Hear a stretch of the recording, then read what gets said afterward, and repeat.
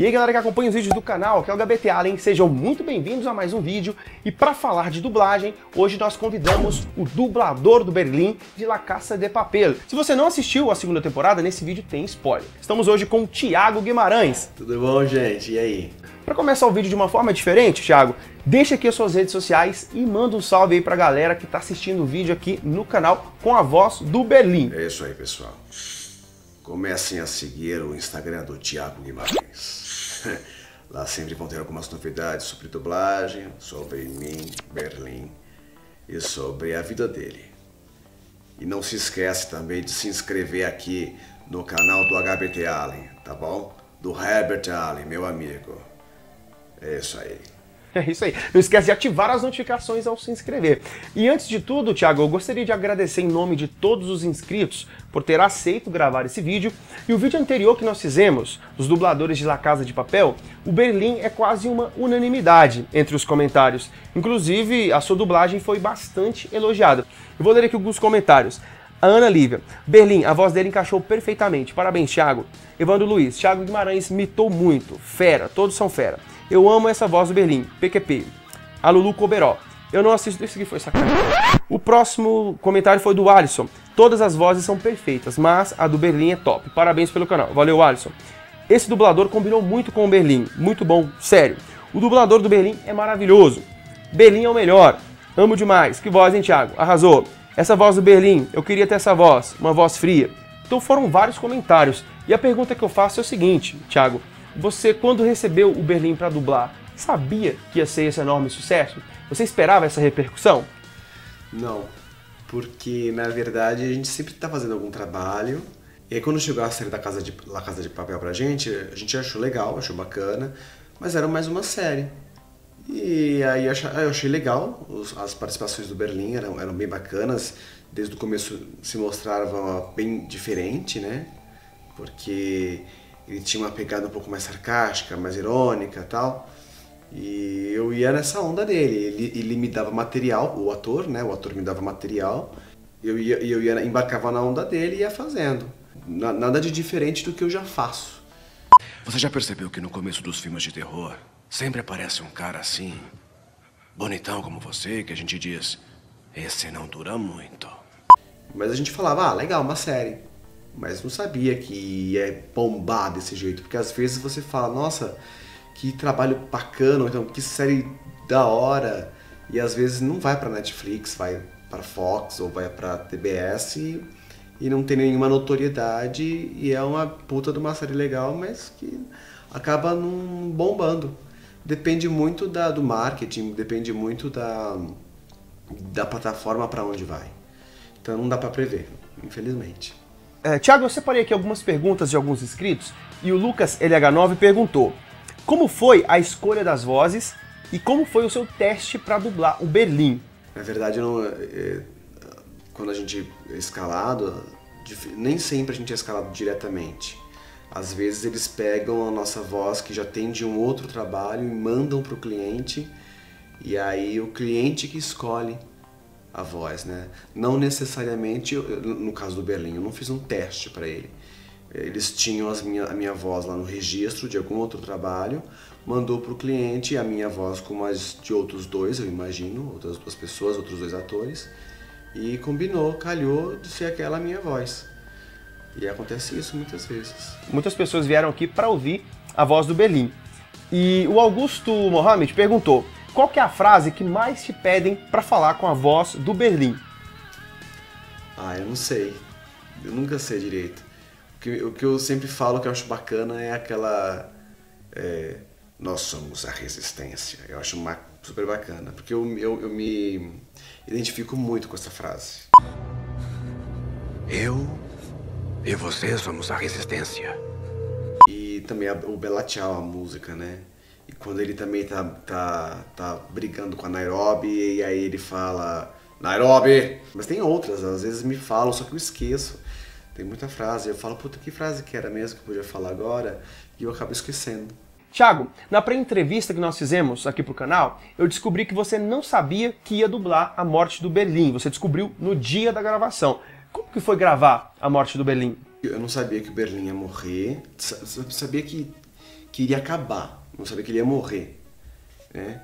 É, acabar sem a participação, né?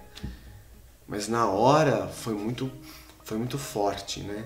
Porque ele, ele se joga no meio das balas, né? No, ele, ele vai para frente, né? Então ele fala, eu e você somos a resistência. Ele fala pra, pra refém, né? Pra, que ele tá com ele lá.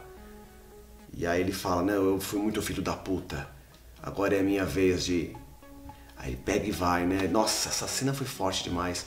E no fundo tocando o Bela Tchau, né? Nossa, foi muito forte. Eu, saí, eu lembro que eu saí do estúdio assim. Tipo, muito foda. Ele, para mim, a participação do Berlim. Por, acho que é por isso que ele é tão querido, né? Para mim, ele é muito querido. Para mim, foi um grande marco. Nenhum personagem que eu dublei, nenhum, se iguala ao Berlim. Muito legal. Se eu morrer hoje, o Berlim foi o melhor. Então, Thiago, a terceira temporada foi confirmada pela Netflix e o retorno do Berlim também foi confirmado. E como você espera isso? Como que você espera o retorno dele? Vivo ou em flashbacks? Qual é a sua teoria? Eu, eu acho que não vão ser flashbacks. Não vão ser flashbacks, porque senão não teria, eh, não, não teria por que ser eh, a volta do Berlim. Nem precisaria anunciar, né? Então ele provavelmente vai fazer cenas, vão ter cenas do Berlim, novas cenas. Eh, eu acho assim, tem duas, duas teorias.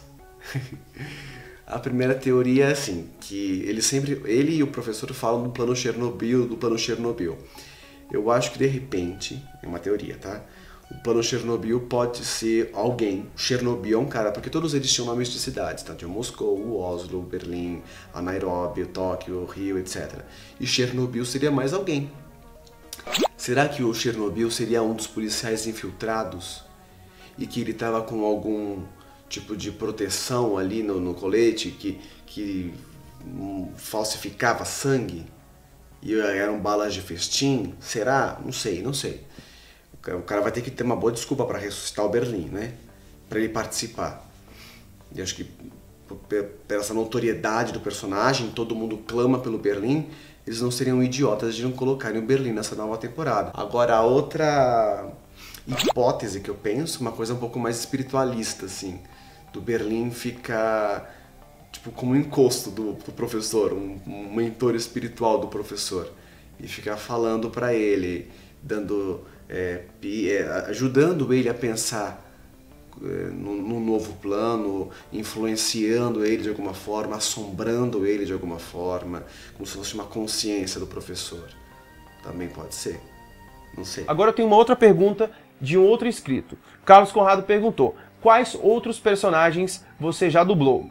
Ah, o Jabu de Unicórnio, que é um, que é um dos que eu mais gosto. Sou fã da série dos Cavaleiros do Zodíaco. E o Jabu de Unicórnio, para mim, é um marco de conquista. Vocês viram? Alguma coisa parecida com uma estrela cadente saiu da casa de Sagitário. Teve uma outra série também que eu fiz na Tempo Filmes, que é o Cirurgiões de Hollywood, que eu fiz o Dr. Ray. O Peer Genius foi uma série de uma temporada que foi para mim também um grande marco na minha carreira, porque foi meu primeiro protagonista de série, passou na Universal, então foi muito bacana, foi um desafio, porque era um personagem que falava muito rápido, ele pensava muito rápido e eu tinha que desenvolver o texto muito bem também, né? As, as, articulações do personagem. Nos últimos seis anos, o médico observou uma desassociação de emoções, depois a diagnosticaram com depressão e depois com síndrome do intestino irritável. No, e no Power Rangers eu dublei o, o, o Ranger Preto na série é, Dino Charge e Dino Super Charge, Super Dino Charge, eu fazia o Chase. Armadura X, ativar! Ah, hora de te dar uma lição! Ataque espiral! Para quem não te segue no Instagram, não sabe que você também dubla a tia Lídia do Hotel Transilvânia. Pode dar uma palhinha pra gente? A tia Lídia, ela fala mais ou menos desse jeito. Ela, ela está sempre atrás da Mavis, porque a Mavis, ela sempre faz tudo errado dentro do Hotel Transilvânia e ela tem que administrar muito bem. Então tem que fazer tudo direito, Mavis! Mais ou menos assim. Agora eu tenho uma pergunta para te fazer. Se fosse para escolher um personagem que você não dublou, qual personagem você gostaria de dublar? personagem. Ou tem aquele, aquele programa que passa na Discovery Home and, Home and Health, eu acho, o TLC, não sei. é Os Irmãos à Obra, o Alexandre Moreno. Porque eu admiro muito o trabalho do Alexandre Moreno, que é um dublador do Rio de Janeiro. Ele me inspira muito, ele é uma grande inspiração para mim. Eu acho que por isso eu gostaria muito de dublar os Irmãos à Obra. Não tem nada disso, eu até sugeri um móvel. O bar seria aqui e a mesa de jantar aqui, somente móveis. Pelo amor de Deus, eu disse que seria um móvel sem parapeito e sem bancos. É exatamente o que eu disse que seria. Eu gostaria muito de dublar o Goku. Acharia mar maravilhoso. Acho que não. Mas é lógico que ele tem um dono, um dono, né? Ele já, já é dublado há muitos anos por um dublador e eu acho, eu super respeito isso. Mas se me perguntassem, com certeza faria ele. E de, de filme, de longa-metragem, dos, dos Vingadores, um dos personagens dos Vingadores, quem sabe, o Capitão América, seria interessante. Tiago, mesmo conhecendo vários dubladores, tem algum dublador que você era fã antes de entrar no meio artístico e que você ainda não teve a oportunidade de conhecer? O Alexandre Moreno, com certeza. Sempre gostei do trabalho dele, mesmo sem saber mesmo quando eu não sabia que ia ser um dublador. Sempre gostei muito do trabalho do Alexandre Moreno, gosto, admiro muito ainda. Para mim é um dos caras imbatíveis da dublagem. Gosto muito também do trabalho do Francisco Bretas, aqui de São Paulo, o dublador que faz o Yoga de Cisne do CDZ. Sempre gostei muito do trabalho dele, sempre achei muito natural. Logo que o YouTube se popularizou no fim dos anos 2000, os dubladores não eram tão reconhecidos como nos últimos anos. Nos dias de hoje, Thiago, você acha que o dublador é reconhecido como deveria? Ainda não. Ainda não é. Eu acho que como ainda a, a, dublagem ainda tem essa coisa por detrás das câmeras, de ser a voz, de ser uma voz, ainda tem muito essa coisa de, ah, meu Deus, um dublador, um dublador. Ainda é muito fechado esse mercado, né? Você não vê na televisão é, notícias sobre dubladores. Você não vê no video show notícias sobre dubladores. Dificilmente uma matériazinha aqui, uma outra ali. Você não vê, né, falando, ah, tipo, o dublador morreu. Você não vê, nossa, o dublador do fulano morreu. A não ser que seja, sei lá, tipo, um cara conhecidão, né? Mas você não, você não vê, tipo, o, o, o dublador Valdir, Valdir Santana morreu, o dublador do Homer Simpson. Eu não vi nada no jornal, jornal hoje falando nada sobre ele, né? Então eu acho que ainda tem muito ainda que é, ser divulgado e de, de, ser reconhecido, né? O, o trabalho do dublador. Tiago, se fosse para deixar um recado para as pessoas que odeiam a dublagem, o que você falaria? Eu não tiro a razão algumas vezes dessas pessoas. É, tem muito trabalho de dublagem que é feito meio. O, o, o ator, você, você assistindo, às vezes o público não consegue dizer mas o, o, o, trabalho do ator, do, do, do, personagem, não é sentido. Eu, eu quando tô, nesse, eu vou dar mais uma vez o exemplo dessa da, da Dubbing Company, que é onde é o estúdio onde eu trabalho. Eh, toda vez que você chega, você senta na cadeira para dublar, o, o, diretor fala para você assim, ele tem uma sinopse, ele te dá todo uma um, um, um conhecimento, né, um, um environment do, do personagem, para você entender. Mas você precisa entender mais ou menos o que está acontecendo. E aí eu vejo muitas vezes alguns trabalhos que não existe esse envolvimento. O, o ator tá lá, é mais um trabalho. Vamos lá, vamos trabalhar. Ah, de alguma forma você tem que se envolver com aquilo, não pode ser uma coisa é, mecânica. Então muitas vezes o fã, o cara que está vendo a dublagem, ele sente isso.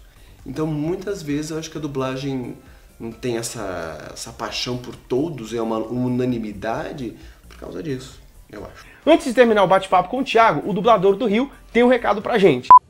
Quando as coisas complicarem, eu vou estar tá com você. Quando essa merda começar, eu vou estar tá com você. De peito aberto. Fala aí, beleza? Eu sou o Carlos Magno, dublador do Rio, da série La Casa de Papel. E tô passando para deixar um grande abraço para todos do canal HBT Allen e para você, Herbert Allen, um grande abraço. Parabéns pelo canal e eu desejo todo sucesso para você.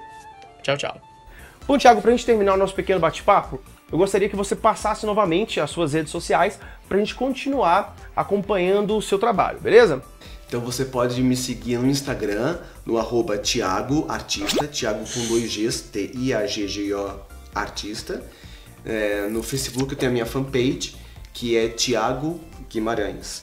mas eu tenho essa fanpage que é onde coloco todos os meus trabalhos, me comunico com a galera e também tem um Instagram que eu sempre estou fazendo stories e tal. E é isso.